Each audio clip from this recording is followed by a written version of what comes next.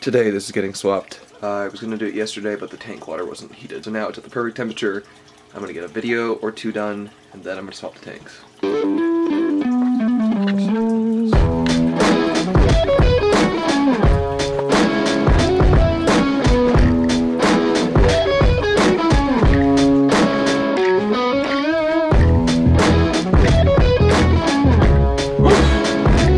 It's already 1:45 though. Um, I should probably eat something small. I kind of want to redo this again. I feel like this is not very efficient if I just get the good tape to go right there. It doesn't need to be this big. Maybe cut it up up here. I probably should do it. It's leaking a lot.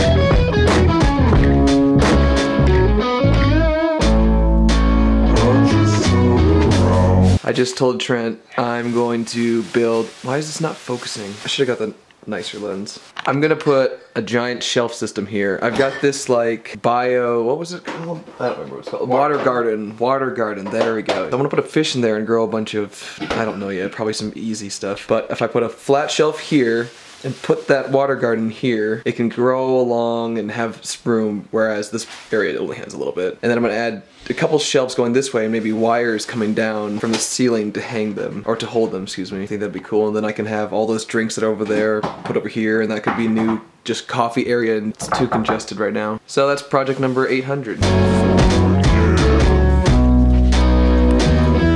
Time for this project.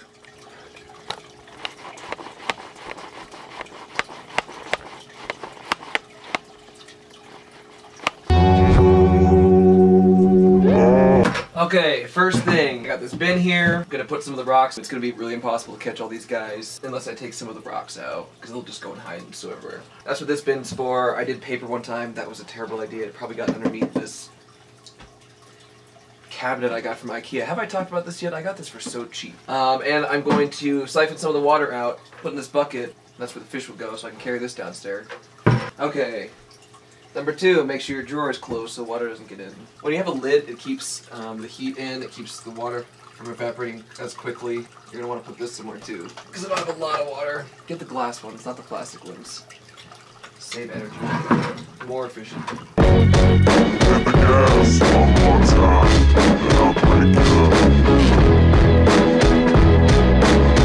Taking all these rocks out is probably going to make the water level drop too, because they're really big.